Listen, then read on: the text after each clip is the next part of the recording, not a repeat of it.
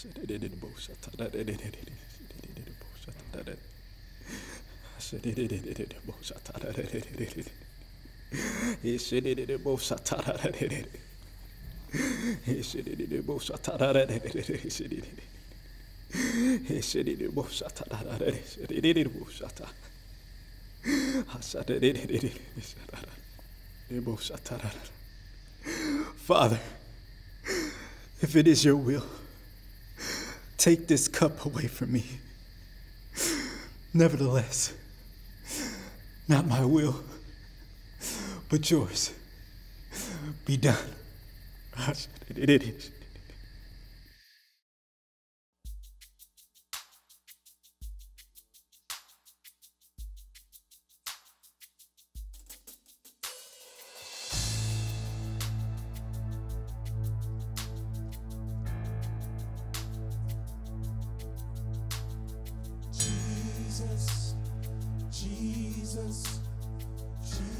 Jesus.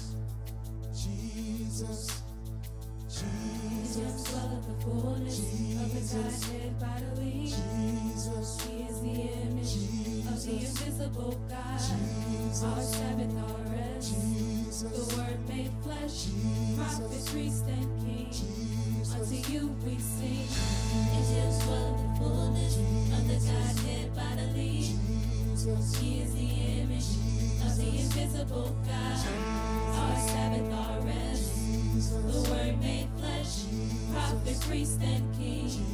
Unto you we sing.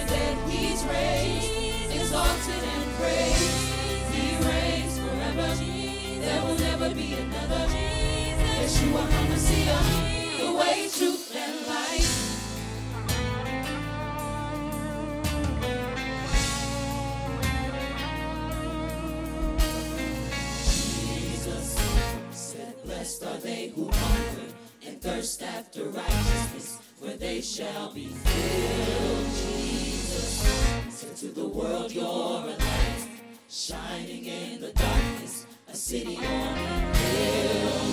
Jesus taught us how to pray. Our Father, which art in heaven, hallowed be thy name. He's the Lion and the Lamb. He's the great I am. From the dead, he's raised. Exalted.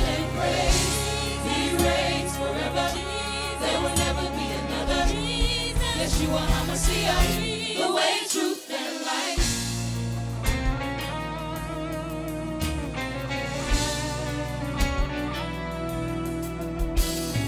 Jesus, miracle.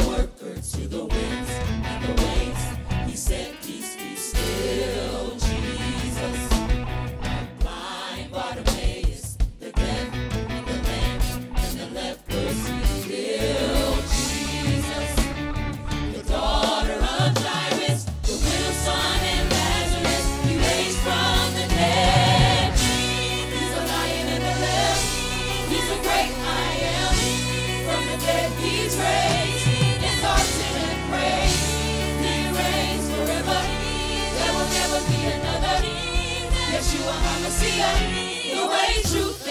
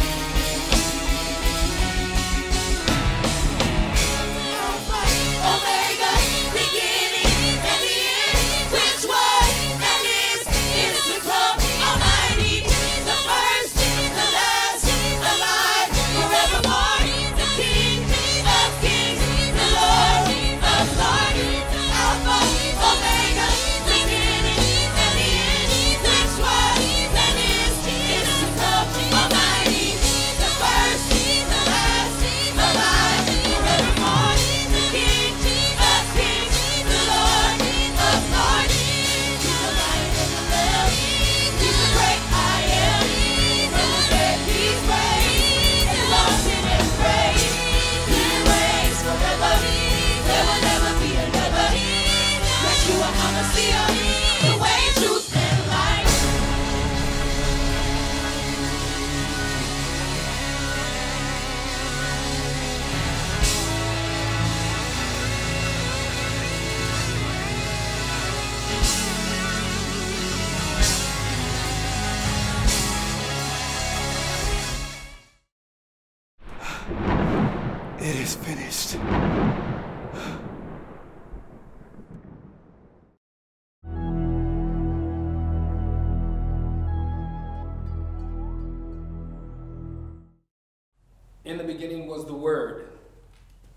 The Word was God. The same was in the beginning with God. And he manifested himself as light. And that light shined in darkness, but the darkness could not comprehend it. You see, the darkness that we live in now in the world, the present time, was foreshadowed by the gruesome death and crucifixion of Jesus. It may have been hard for his disciples to comprehend, just as is difficult for us to conceive that the giving of one man's life can save the entire world. You see, there was this manifestation of God's promise that he would send a Savior into the world. John 3 and 16 tells us that God so loved the world that he gave his only begotten Son, that whoever believes on him will not perish, but have everlasting life. Jesus told his disciples that he had to go away to prepare a place that where he was going, there we may be also. It's incomprehensible to think that Christ is no longer with us physically. But we know that He is not only in our hearts as believers, but He's coming again, and we need Him. The world needs a Savior more so now than any other time. We need Him now. We need a Savior that will bring light to a lost and dying world. Show me your face. Fill up this space. My world needs you right now. My world needs you right now. I can't escape being afraid. Fill me with you right now. My world needs you. Show me your face. Fill up this space. My world needs you right now.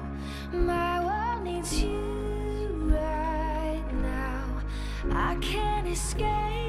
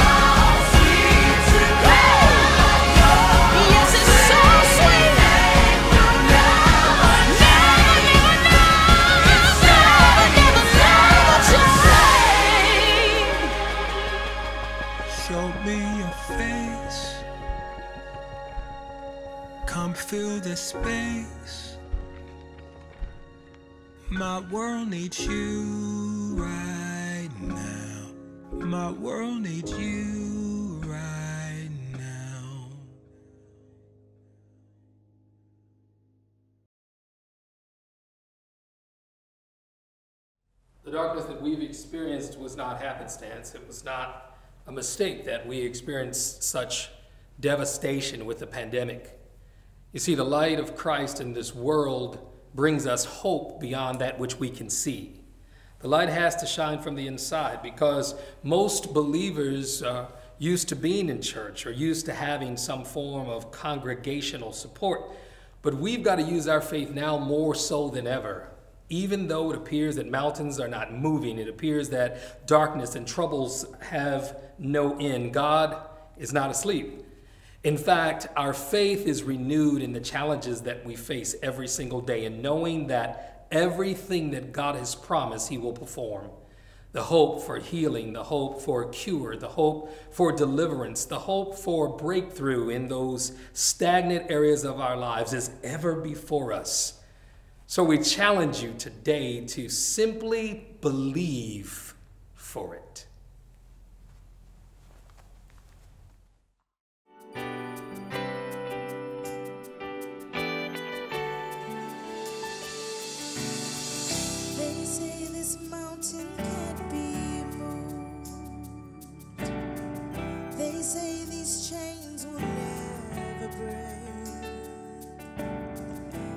see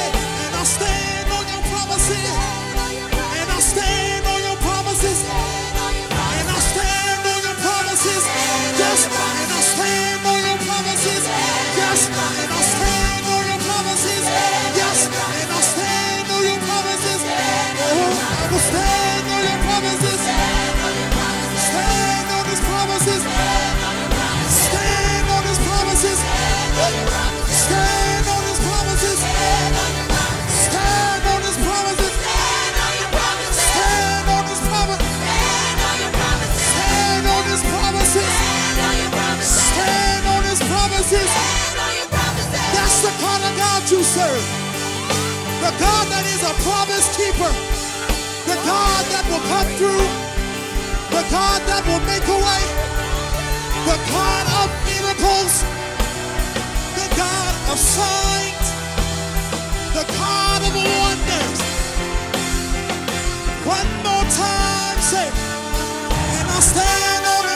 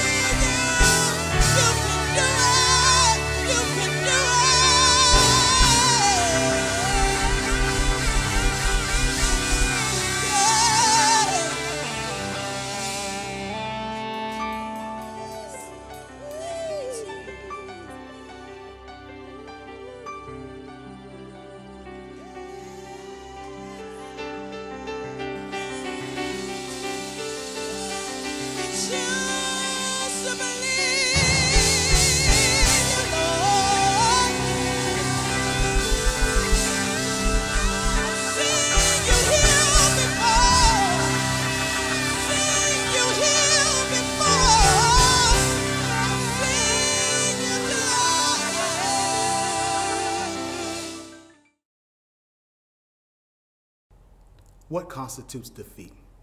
Is it when the sun refuses to come out and play in the middle of the afternoon? Or when the earth is in such pain that it provokes the unshakable to be moved?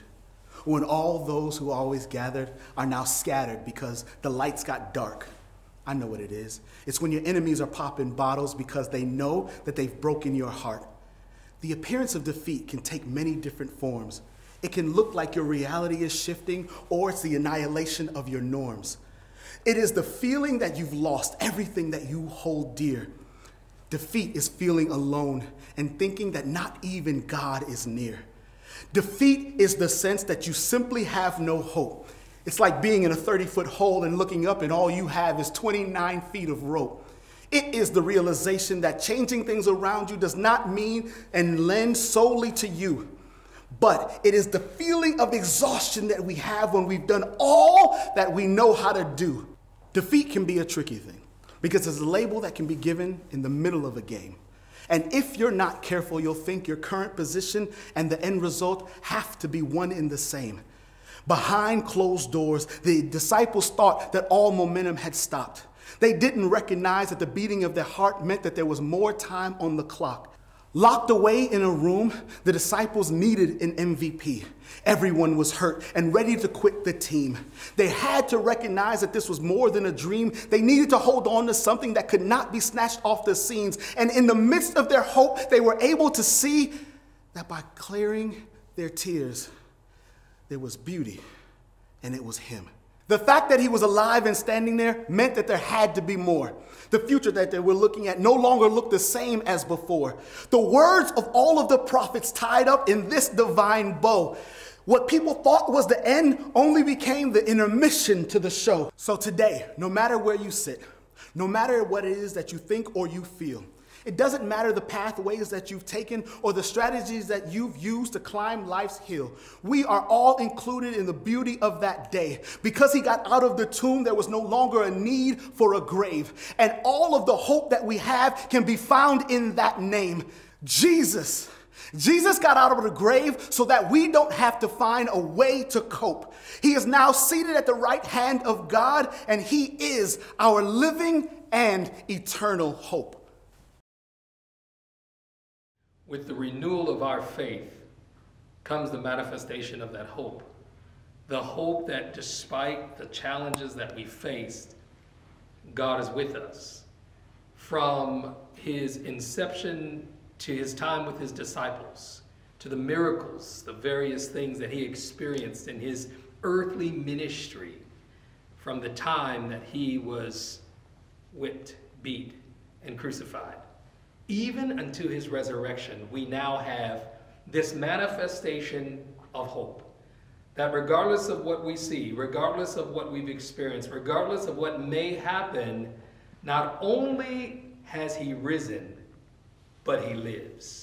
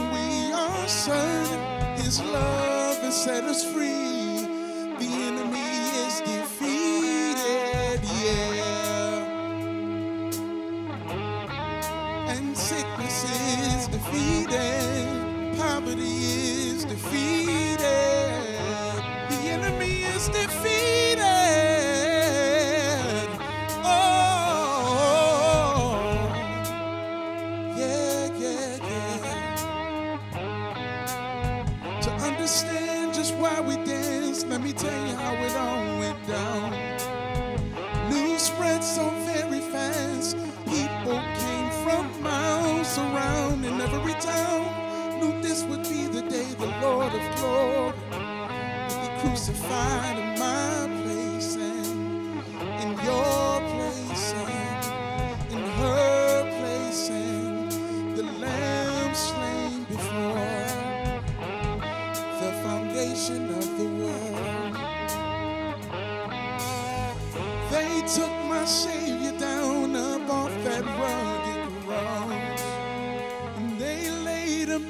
him me. It seemed our hope was truly lost. But the third day came around and brought the rhythm of life, yeah. And brought the rhythm of life, yeah. Hey, and brought the rhythm of life, yeah.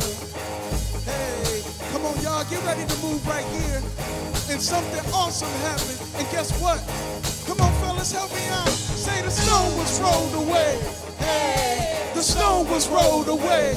Hey, and Jesus came, big and bad, snatching the keys. Everybody say he came. He came.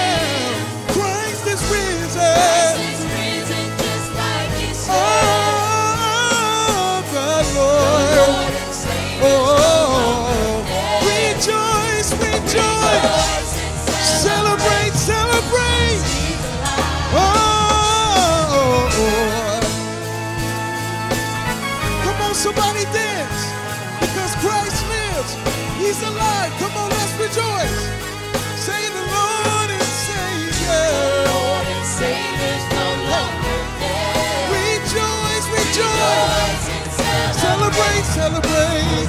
Come on,